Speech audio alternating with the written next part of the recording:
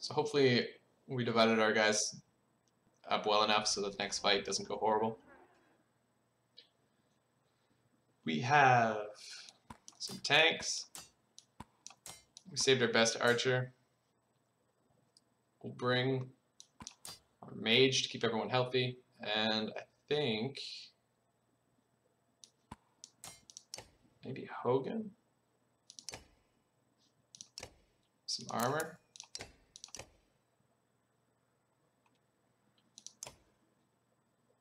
So right now we got a wall of a man. Mogr, he's going to go in first. He has extra break, extra movement. Gris is just a, also a brick wall, so we'll send him in. They'll weaken them up for Hakon. Hopefully Nid just crits like crazy. She's running full crit build.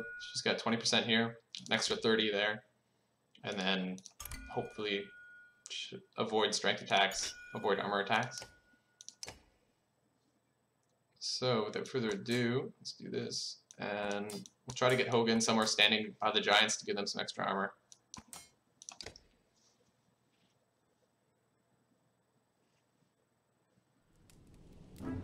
Alright.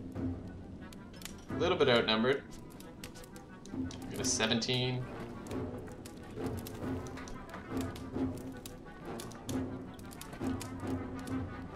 Seventeen's our biggest guy. Well, their biggest guy.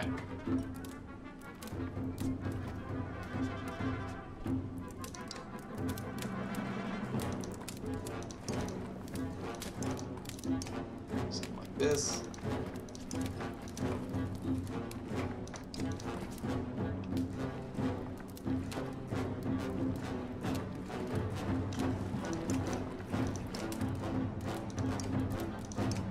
Just gotta watch out for these guys hitting our archer.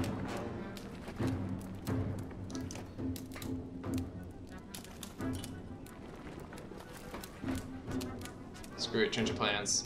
Uh, Hakon's gonna go after these two. We're just gonna clump up on either side of Hogun here, of uh, Hogun here. Create like big wall and just spam them. Hopefully they all line up nicely for our lightning abilities that hit diagonally. And I think this is what we're gonna do. Try to weaken everyone e equally. So lucky for us, the next guy that goes is only a 13. This big guy isn't even coming up anytime soon. So let's do this.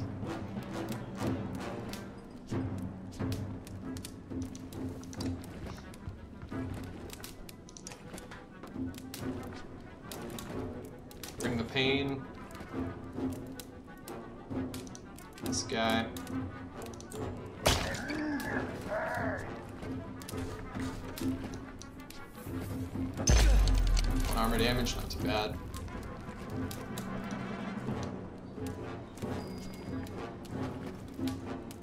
He's gonna move up, get one extra armor from being close to this guy, and try to damage him as much as possible. I think he has, he had it like a 20% chance to crit item, unless I removed it by accident.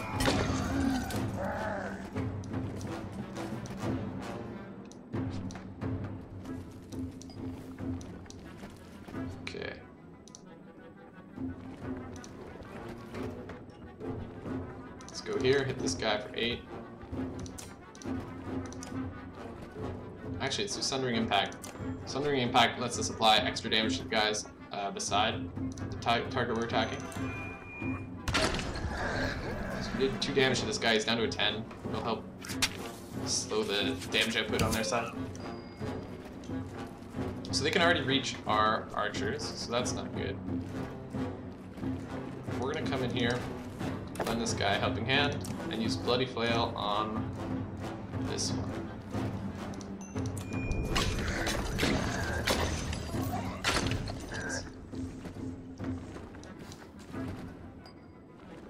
So with this big guy blocking our blocking everyone else's path, we've got a good wall set up. Uh, in terms of lightning, we can get these two, those two.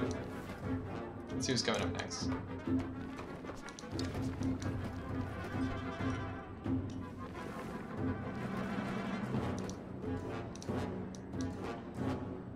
Like to hit this guy. But I think we're gonna wait. We're gonna send Mogr in after him. Yeah, we'll do that. So, just lightning strike this guy for the max. We'll spread to him. Four and five.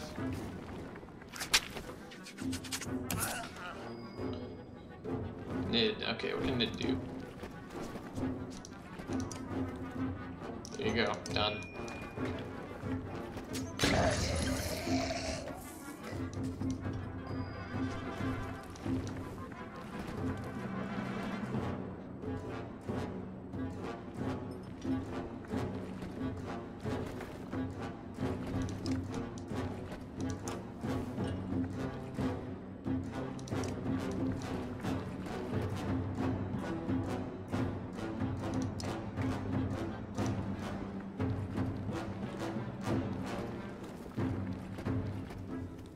Send this guy over here. Start dealing with all this armor.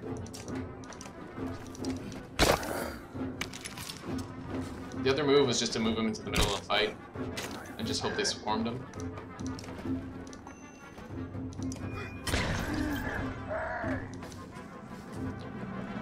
This guy's calling for backup. Which we don't really mind, this fight's going pretty smoothly. Next up we have this guy. 10. He is a 12. Right now we have this guy kind of out of position. Nothing we can really do about that from here.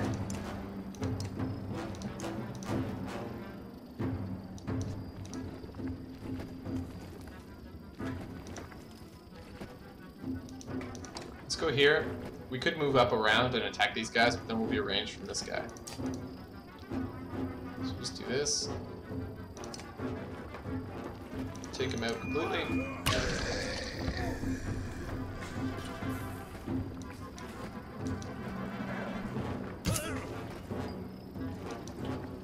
Alright. Once again, Bloody Flail on this guy. Hopefully a bit more strength.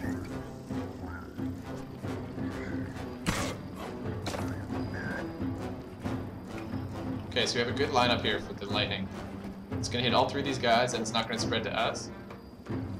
We want it to do at least three here. Three, four, five wouldn't be bad, but we'll just do max against this guy.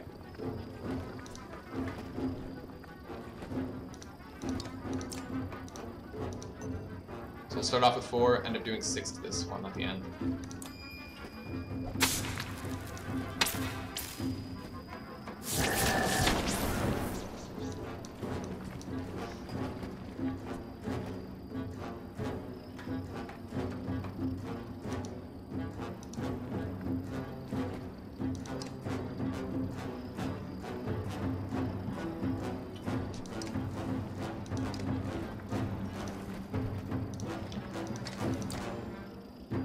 Little too far for this. What we might do, we'll move up a bit. And since we level, leveled her up past level 5, she got Rain of Arrows. We're gonna put it right... Let's put it right here. So hopefully this enemy will eventually move straight up towards Gris, instead of turning.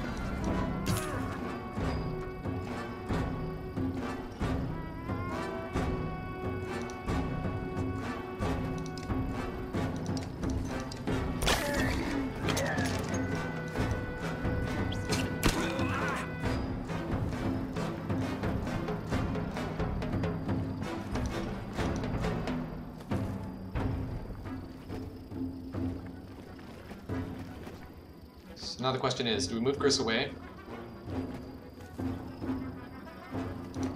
This would kind of guarantee that this guy goes after one of us, because he's not in range of anyone else, so he should go after Grace.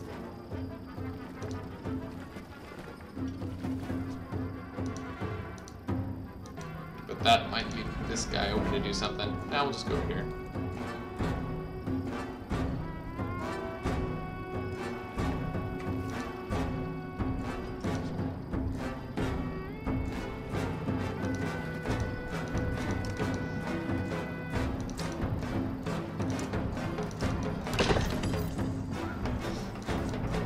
Stepped on it. Oh, so even her passive abilities can crit. That's interesting.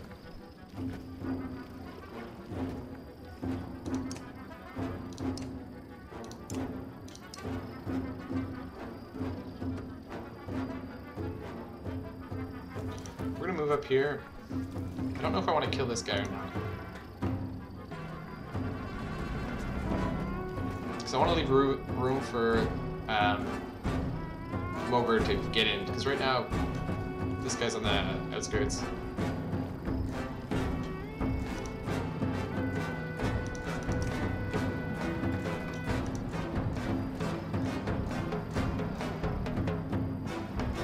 This guy. Reinforcements come in. It's a guy with 10. Not too worried. Um.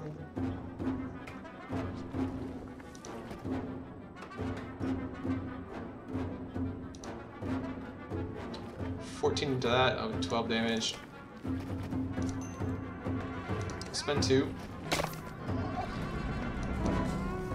So that next turn he can get a free kill on this guy.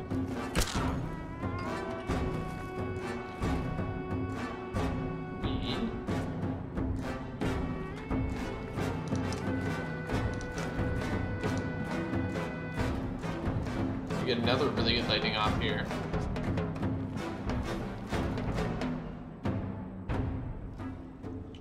That guy's better. So we'll kill this target and weaken this one. We have 15 willpower on this guy, so we'll just keep spending it like it's nothing.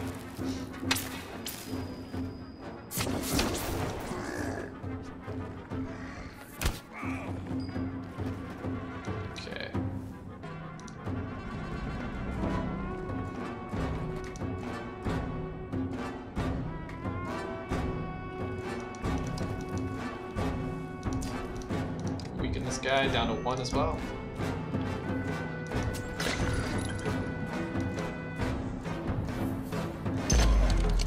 That's no good. Luckily for us, it's his turn. He can just get right back in there. Take down this guy.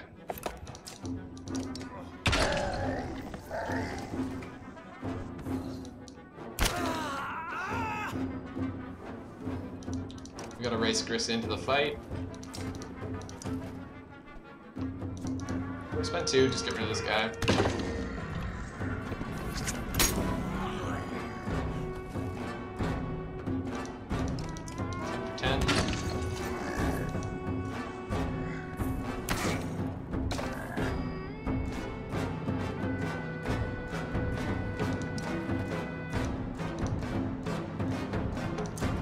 Bloody flail this guy. With a bit of luck, we can get him down to one. Probably break this guy's armor again. But we can repair that.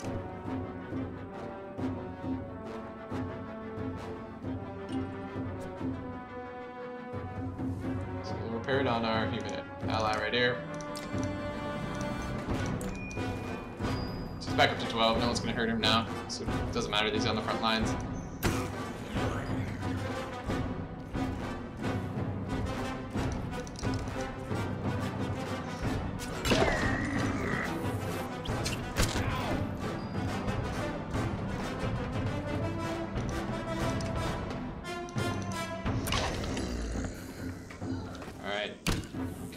Smooth.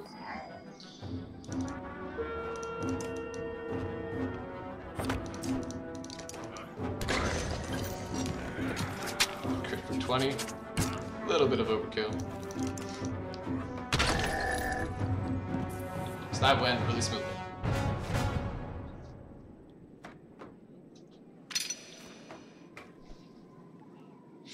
We just maxed Nid out for her level. Should go up to level 10 now. Not really sure what I'm going to do with those extra stat points. So, what you did here, the old man says, his voice cracks. He suddenly smiles. Everyone that matters is alive, and there's plenty to feed them too. I can't thank you enough, but I bet the merchants will make a deal with you. That's what we did it for. The supplies, right? So, Iver and Hakon find you. Both look as tired as you feel. I'm not sure how so many of us made it through that. I never expected to see Horseborn in my life, let alone fight them. And the, dredge, the dredge seemed desperate. Fighting like us, you mean? Like they got nothing left to lose. I wasn't worried. With the great Ingvar on our side, how could we fail? Iver looks at you and grumbles. Face it, Iver, you're a legend. Oh, and what are you? See how you enjoy it when you get to Arberrang. Let me know how you feel when others act like idiots just to be near you, Sunder Slayer. You won't be able to relieve yourself without it being an act of the gods. I've always considered that a rather holy moment myself. Hakon laughs. It's good to know you haven't lost your sense of humor. Well, I doubt anyone in the capital even knows what happened in Boersgard. Juno walks up to your group unexpectedly. Word has a way of traveling faster than any of us. Don't be surprised if the capital knows you're coming. Which reminds me, we should be figuring out what we're doing next.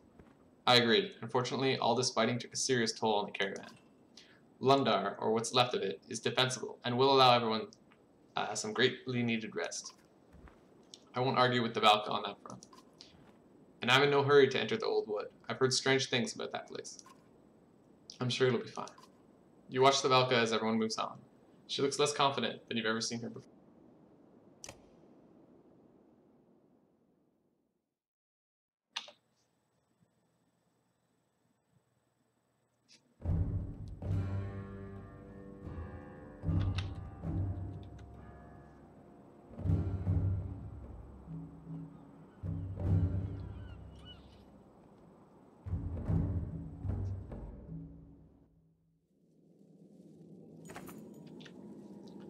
Your hay mattress itches, but it's more comfortable than sleeping in the cold, hard ground. As you stand in your private room, you hear something. Throwing on your old, your cold bear cloak, you step outside and listen. It's a distant sound of battle, outside the gates where your ravens are. You race to the gates, shouting for the guards to open them. They look pale. I swear to the gods, I'll make it worse for you if you don't open these damn gates, you yell. The guards follow your command, and you're almost overwhelmed by a surge of clansmen pushing to get through. The old wanderer of your company finds you. Just some dredge scouts, he says. Surprised us in that snow. We took some losses, but we cleared them out. Probably a lot more coming, though. As he speaks, the snowfall lessens. Timing. The storm must be moving south now. Not, in, not that it changes much for you living it up inside here. So you grab a raven running by you. I want every one of our fighters ready to move. Now. Set a post inside these gates for them to wait for me. The fighter nods and takes off to find everyone. Get a ox pulling that cart. We're leaving. Good idea. Going already. The silent appearance of the two menders surprises you. You were outside the walls. What did you see? Dredge scouts it. I'll ridge my axis there's an army of them coming this way. The young mender's eyes go wide as he stares at Claw and Fang. And if that's true, they'll level this place. The storm must have hidden their approach. Or kept them at bay. But why are they here? Why not? I don't care. We're heading for the mountains. But the Ravens could take on all the, all these dredge, especially especially with Avalka's help, like that time in Riverrake when you helped Valka Shorin. Huh, I'd forgotten about that. Nicholas' eyes light up. It was you, Shorin, a handful of ravens tracking down the bandit who called himself Drago of Dangler. The river, a warhorn blares across the town. The army of dredge you suspected is real. Nichols, find Gudmund. Have his guards try to calm the people. Bring him to meet us at the barn with the cart. The young mender follows orders without question. Not a bad quality. Cart's not your business. I disagree. A dead Valka give you, gives you a cart to hide in the deepest recess of a river, and suddenly an army of dredge appears? If you haven't already tried, I doubt you'd be able to open the cart. If it's woven shut as I suspect, I'm the only one here who can open it. We told you, Juno's not dead. We were just traveling with it. Let me tell you something that compromises my position as Valka. The Juno who I knew, who the entire council knew, was put to death by us. You killed one of your own?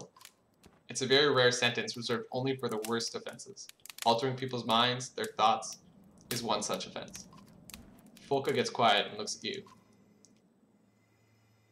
She, saw, she tried something on me, didn't really work. Because it wasn't Juno. It couldn't be, could it? Whoever it was got mercenaries to bring that cart here for free. Subtle. Regardless, Juno was put to death and Ivan was imprisoned. In his grief, he escaped and stole away with Juno's body, but for what purpose is anyone's guess. So no, you will not be paid by the council for a job issued by a Valka whose life we ended. Your irritation is rising when another war horn sounds. Two horns means a large force approaches. Collect what you need and hurry to the barn. It's time we discover why you're really here. Alright. The last dredge falls as you pause. Taking in heavy breaths, the snow is finally abating. The storm is moving south. Let's get inside. So we have the barn and the market. What is for sale? Supplies are super low. Plus 2 strength, not a bad item. 2 armor talent, 2 armor on rest, 10 divert armor attack. 2 range, 2 break. 2 break, 2 range, 2 armor. And protect from death.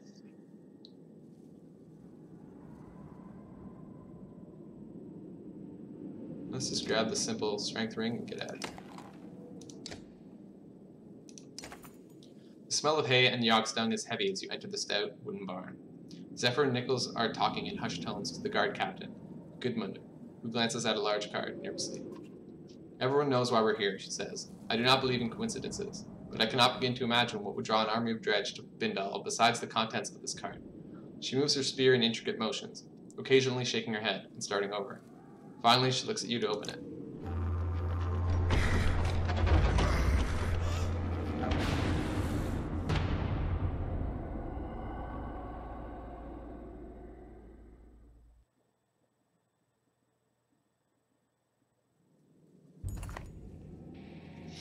Sight of Bellower's body in the cart silences everyone but you. You howl as the memory of a dream tears through your mind and drops into a knee. A strange tower of white stone, lightning, fear, confusion, distrust. There's a wrongness about it all. Bolverk. Folka's voice draws you from the dream, and she's shaking you by the straps of your cloak. Everyone is watching. Another dream? She asks. Your eyes finally focus on hers. A white stone tower, lightning. What are you talking about? Zephyr asks, pulling away from the cart. Her tone is full of concern. I saw a tower, lightning. I, I don't know what I saw. The Valka pauses briefly before shrugging. This is unexpected. She looks unaccustomed to surprises. Gudmundur, continue your task. Nicholas, take some fighter and open the mine. Keep that path clear at all costs. As both men begin to leave, she points to the cart and shouts, Not a word of this. They nod on the way out, and she turns to you and Folka. This cart, I'm not sure why they are attacking, but if the Dredge recapture Bellower, he's dead, who cares if they take him? He cannot die. His immortality is more than rumor. Dredge, live, Dredge lives have no natural end, but they can be killed. All except the immortal Bellower. They live forever? She nods, but is lost in thought. How do you know all this? The Valka know many things about all life in the world. I cannot go into further details right now. Further detail? That was no detail at all.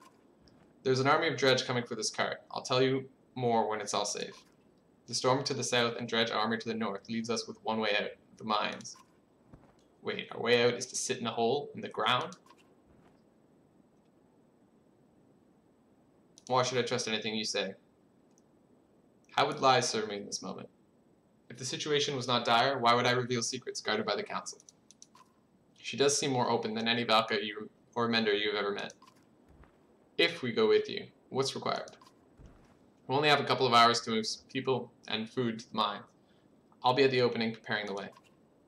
Help load carts near the gates and warn the families in the houses of our immediate departure. Without waiting for a response, Zephyr hurries away. You know, we could always take Bellower's cart and make a break into the mountains. The two of you reseal the cart. Of course, a town in chaos is tempting. It makes you wonder what we might find in the Great Hall.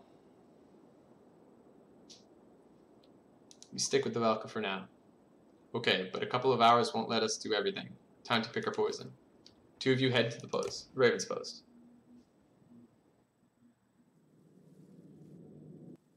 Okay.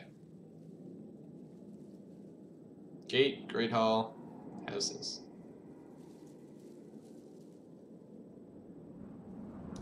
Change?